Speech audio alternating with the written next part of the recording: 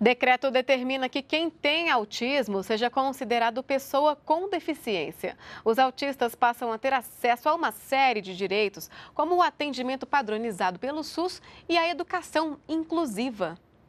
Mário tem 28 anos e é autista. O comportamento repetitivo e a dificuldade na fala são algumas das características da síndrome que compromete o desenvolvimento. Diariamente, ele e outros 14 jovens passam os dias nesta associação, onde aprendem a fazer atividades do dia a dia, como lavar os colchonetes e também para aumentar a socialização. A mãe de Mário, que faz parte da direção da associação, explica que são muitos os cuidados com uma pessoa autista. Quando eles usam material nosso, copo e prato, a gente direciona um de cada vez. Quando é autista, você não pode botar três, quatro, cinco, não.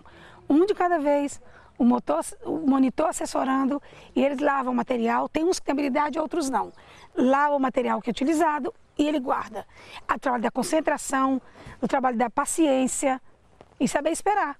De acordo com o decreto da presidenta Dilma Rousseff, os autistas passam a ser considerados pessoa com deficiência e devem ter atendimento garantido e com qualificação profissional no Sistema Único de Saúde. Também mãe de uma jovem autista, Lina Tereza, conta que espera que o decreto traga melhorias no atendimento médico, como na realização de exames, por exemplo. Um atendimento qualificado, um atendimento que quando você vai numa rede, seja ela particular ou pública, você tem o nome ali escrito, preferencial. Além de medicação gratuita, o decreto também estabelece que deve ser garantido o encaminhamento para os centros especializados em reabilitação e centros de atendimento psicossocial. Ele dá toda a garantia ao atendimento integral é, da pessoa com o aspecto autismo, do autismo na saúde, não é, o atendimento integral e também na educação dentre outras políticas de forma transversalizada,